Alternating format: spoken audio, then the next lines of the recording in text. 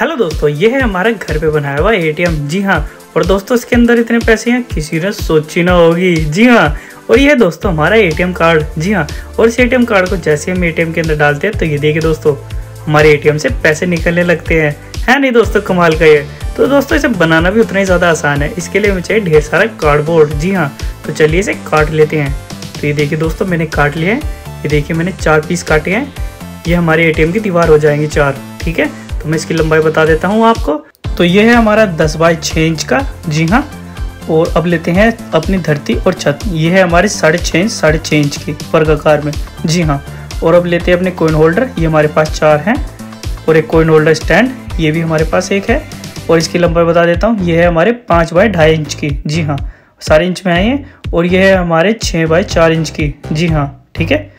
और अब लेते हैं स्लाइड जी हाँ ये भी हमारी छः बाय छः इंच की है, ठीक है? इंच में है सारी चीज़ें, ठीक है?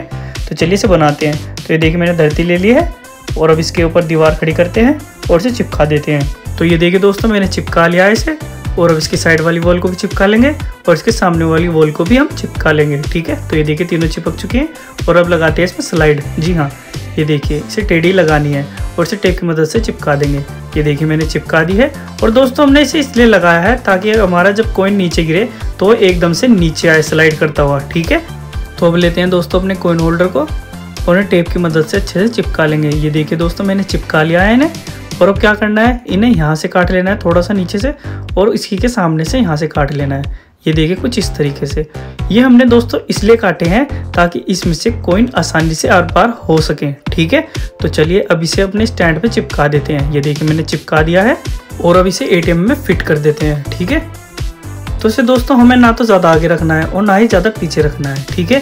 तो दोस्तों ये बात मैं इसलिए बोल रहा हूँ क्योंकि हमारे कोइन को बाहर निकलने की जगह मिले, ठीक है? जब हमारा एटीएम कार्ड अंदर जाएगा। ठीक है? तो फिसलता हुआ एकदम से ऐसे बाहर आएगा। तो चलिए इसे अब टेप की मदद से अच्छे से चिपका देते हैं। तो ये देखिए दोस्तों, मैंने इसे चिपका दिया है। तो अब दोस्तों, इसके अंदर हम कोइन रख देंगे, ठीक है? तो अब लगाते हैं इसकी सामने वाली वॉल को, ठीक है?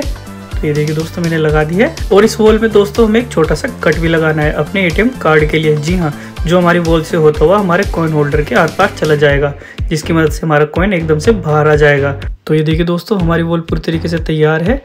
इसमें मैंने कट भी लगा दिया है और ऊपर भी लिख दिया है एटीएम जी हाँ। और दोस्तों, अब हमें एक काम और करना है। वो क्या?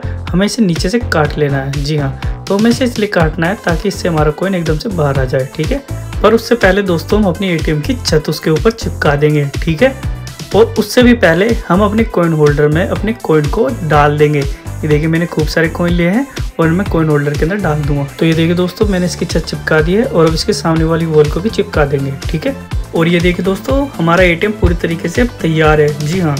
तो चलिए, अब इसके अंदर अपना कार्ड डाल के देखते हैं, वो भी एटीएम वाला। जी हाँ। तो ये देखिए दोस्तों, ये रहा हमारा एटीएम कार्ड और इसे हम एटीएम के अंदर डालते हैं। और ये देखिए, जैसे मैंने इसे अंदर डाला तो हमारा सिक्का एकदम से बाहर आ गया। जैसे आप ये देख रहे हैं दोस्तों, ये कौन सा सिक्का है? दो रुपये का। तो चलिए इसे फिर से ट्राई करते हैं, ठीक है? तो ये देखिए दोस्तों, मैंने दोबारा अंदर डाला और अब कौन सा सिक्का निकल के आया? और अब ये देखिए दोस्तों, इसमें से निकल के आया एक रुपये का सिक्का। जी हाँ। तो दोस्तों, अगर आपको हमारा ये एटीएम अच्छा लगा हो तो इसमें बहुत सारी लाइक डाल दीजिए।